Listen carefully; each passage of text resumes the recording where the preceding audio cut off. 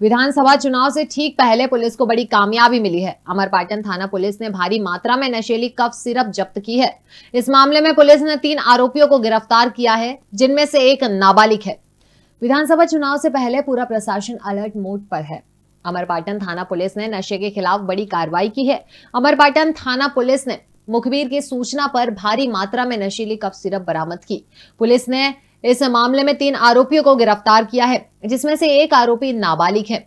आरोपी रामपुर से बोरियों में भरकर नशीली कप सिरप लेकर आए थे।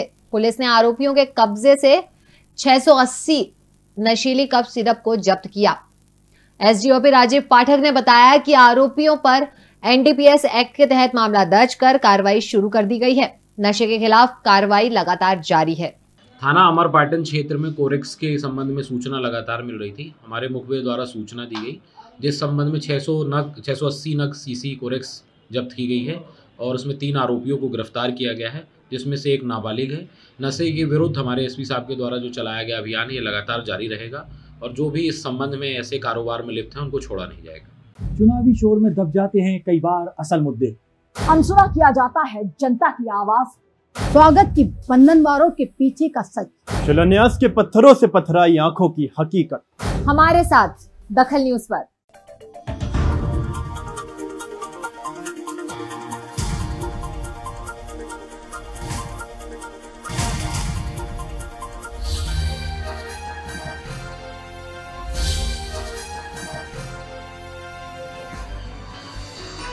आप देख रहे हैं दखल न्यूज़।